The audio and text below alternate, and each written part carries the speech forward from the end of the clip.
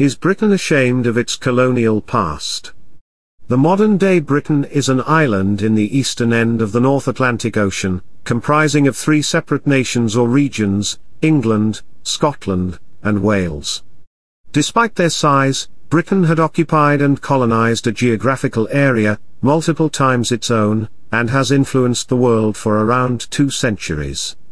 The British colonization made the island nation, which was nowhere near an economic power in the early 18th century, rise up beyond imagination, with money and power, during the next 200 years. Britain achieved this wealth through treachery, ruthlessness, loot and plunder, with absolutely no sense of fairness, or justice to humanity. The idea of human rights, as it is understood today, never popped up in anybody's mind, during the entire period of colonization, and the British authorities or their subordinates, were rewarded based on the level of brutal exploitation, on their colonies and their subjects. Britain justified their actions with the simple belief, that they were entitled to a better life, and the toil, blood and sweat of their colonial subjects, were due to their inferior existence. Every method of ensuring that the colonial subjects will stay ill-equipped, both in knowledge and wealth, were designed during the British control. The colonial subjects were made to stay extremely poor, except for the chosen few, with high level of taxation, and other unethical and regressive methods, of grabbing their wealth. The British colonies were made to stay underdeveloped, and infrastructure was only built to help the British transport their looted wealth, out of the countries they controlled. At the cost of the well-being of the masses, the British authorities stayed in massive bungalows, and palatial houses. The local culture, traditions, clothing, and language were made to look inferior to the British way of living, which the British colonizers utilized to justify the subservient treatment that was given to the locals. In fact, the British were very interested in pushing an education system that made the locals never attain useful knowledge, but to push them into clerical jobs, serving under the British masters. The British then turned around and pointed out to their colonial subjects, how the British language, namely English, and their superior intellectual capacity, was the reason why they won them over. However, the British Empire was formed entirely with divisive, exploitative, brutal, suppressive, inhuman methods, far devoid of any intellectual superiority. In simple terms, colonialism is a dogma, that allowed the British to genuinely believe that it's their right, duty, and God-given gift, to rule over their colonies, rooted on racism, prejudice, and intellectual depravity. In fact, the British were so drunk with pride, that they believed their colonies cannot govern themselves, and often cited it to be the reason why independence was a bad idea, to their uncivilized colonies. Some of the celebrated British leaders were racists and supremacists, including Winston Churchill, who famously supported the slogan, Keep England White, and was wantonly responsible to the countless deaths, due to his callous attitude of depleting the food grains of Bengal, during World War II, and letting the Indians die. The celebrated British novelist and poet, Rudyard Kipling, known for his belief that the white man carried the burden of saving the world, and other racist views on white purity. As George Orwell wrote in 1942, Kipling was a jingo imperialist, morally insensitive, and aesthetically disgusting. However, Kipling is still one of the most adored writers in Britain. The absurd idea of how the British superiority and exceptionalism needs to be enforced through indoctrination can be seen in the writings of Joseph Salter, a well-known Christian missionary in London. His job was to evangelize and anglicize immigrants, including African blacks and Asians, by drilling the idea of British superiority over their own tradition, culture, religion, language, and lifestyle. The cultural subjugation, was one of the ploys that was employed throughout the British Empire. On the economic front, the British occupied the colonies at a time, when the world was moving from an agrarian economy, into an industrialized one. Due to the fact, that the colonies were under British rule, these countries never saw the transition to the new economy. India was the largest of the British colonies, a prized possession of the British Empire, and was referred to as their crown jewel. India was also the worst sufferer of colonization. During their rule in India, the British took thriving industries, like textiles, shipbuilding, and steel, and destroyed them completely, by imposing taxes, import tariffs, as well as forcing their exports and products on the back of the Indian consumer. On top of that, the British didn't leave the agrarian economy to survive well either.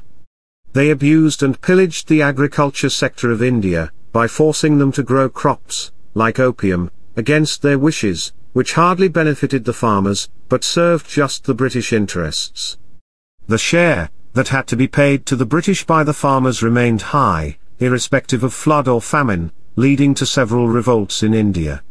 The revolts like the Indigo Rebellion, Champaran Struggle, Kheda Peasant Revolt, the Bardoli Movement, etc., were crushed with such cruel punishments, to send a message, not to violate the British orders, no matter how harsh they may be. Now, let's answer the question we had posed at the title. Is Britain ashamed of its colonial past? According to the YouGov poll conducted in 2016, which is one of the few scientific polls, only 21% of Britons believe that their colonialism is something to regret, but 44% of Britons believe it's something to be proud of, and the rest think it's neither good nor bad, or have not expressed any opinion at all. What appears so obvious to an impartial observer, is not so, to the British eye. How could this be? A good many British expressed ignorance, about the atrocities committed by the British Empire, on their colonial subjects, since they've only read about the Empire's impressive conquests, as well as the betterment of human conditions, that supposedly happened, during the British rule. And even among those who have studied colonization in depth, some people assert confidently, that the British Empire has been a force of good. Let's hear some of the British arguments. First and foremost, the British claim is that they improved the life of the colonial subjects, through better medical care, education, and railways. As we have seen, the British destroyed the traditional education system, and forced them to learn minimally, just enough for them to turn into human calculators, and clerks, assisting the British, in their subjugation and looting. New railway lines were created during the imperial rule, but the main purpose was for the transportation of goods to the ports, to be shipped back to Britain. And lastly, about medical care, it was only available for the British subjects, and a few locals of Britishers' choice. The second British claim is that the British rule is too complex to comprehend, and the good and bad cannot be analysed, using today's parameters. This claim is a deliberate distortion to undermine any factual analysis, based on the published records, and writings. Simply put, it makes an argument, any event in history can't be understood, if you have not lived during that period, which means every historical error should be condoned, and history should never be part of any discussion. Another claim of the British is, many British intermarried with their colonizers, followed their traditions, and were not as prejudiced, as it appears. This claim is blatantly false as well. The percentage of such people who married or followed the local traditions was very low, because of the taboo that existed about interracial marriages, or appearing with local clothing.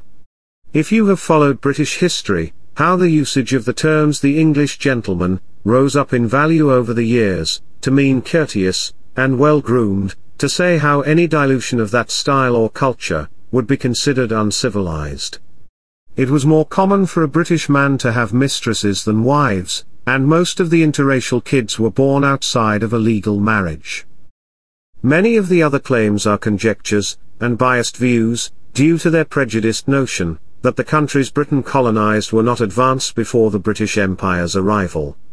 Let's take the case of India again.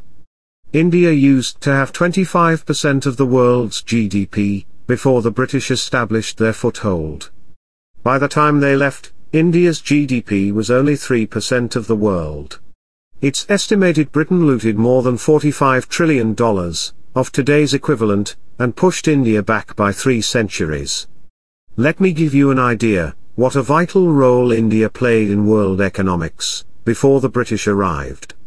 During the 16th and 17th centuries, all nations that had started building ships, established trading agencies, and all of them were set up with India as a priced destination for trade, like the British East India Company, the Dutch East India Company, the French East India Company, Danish West India Company, Dutch West India Company, Swedish West India Company, and a lot more. It appeared the whole world revolved around India back then. After India became a colony, time stayed still for India for most part, while the Western world advanced in science, technology and economics.